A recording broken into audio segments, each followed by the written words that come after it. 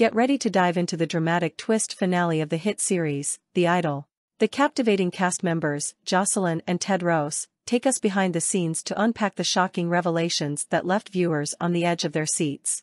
With the unforgettable line, You're mine forever. Now go stand over there, Jocelyn, portrayed by the talented Lily Rose Depp, asserts her dominance and reveals her true power. After enduring episodes of manipulation and trauma, Jocelyn unveils that she has been one step ahead of Tedros, played by the mesmerizing Abel the Weeknd Tesfaye, throughout the series.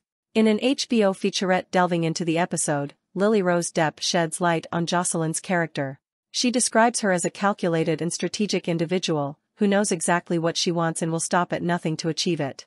The revelation in the finale unveils Jocelyn's true intentions and her use of Tedros as her muse. The tension and suspense build throughout the series, leading up to this explosive finale.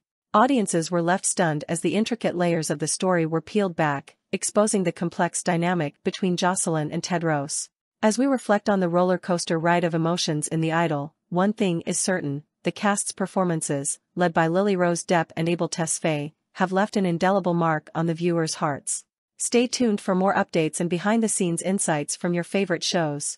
Thank you for watching. Make sure to subscribe to our channel for more thrilling updates from the world of entertainment. Until next time, stay tuned and keep chasing your dreams.